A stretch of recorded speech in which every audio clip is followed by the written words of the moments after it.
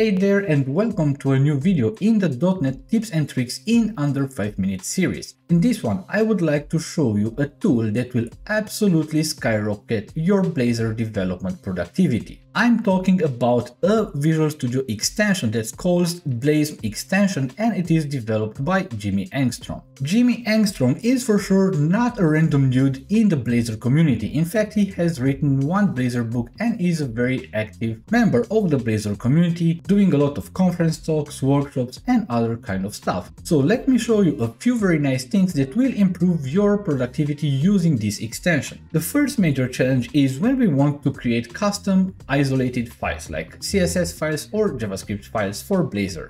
Now what we would have to do in that case is to just manually create that files, give them names, make sure that they have the same name as the component and so on and so forth. But with this extension installed, we can simply right click the component and click here on create isolated CSS file. And in fact, you see that this new file was just created with a mouse click. We can simply add here some random CSS and just run the application and to show that everything works. So if we go to the counter and we see that the counter is now red as we have defined in our CSS file. Following the exact same steps, we can also add isolated JavaScript files.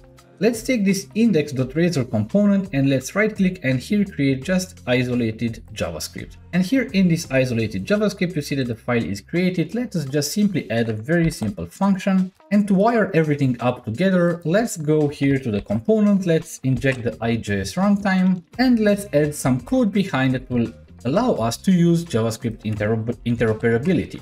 And now if we run this application, we can see that we get this window alert with hello world. It's exactly what we created and if we refresh it, we get it once again. The next productivity boost is even more excited for me because you know I like to have this code behind files that are associated to the markup. Now what we can do here instead with this Visual Studio extension is just right click the component and we can say here create code behind file and it will automatically create this code behind for us. So to make sure that everything works let's go here and let's take everything that we have in this code behind and let's move it to the dedicated file. From here we can remove the entire block, run the application, go to fetch data and we see that everything still works. And since we are here on this fetch data component, one other very interesting productivity hack with this Visual Studio extension is that we can automatically, for instance, take these usings and move them if we right click here, move namespaces to the import.cshtml. And if we go in fact in this import, we can see that it was successfully added. And last but not least, another very nice productivity hack here with this extension is that we can automatically extract the code block into a custom component. So let's say that we have this h1 title and we want to extract this to a dedicated component. We can just simply right click it and we have this option extract to component. Then here we have to give a name. So I will give it counter title and add component.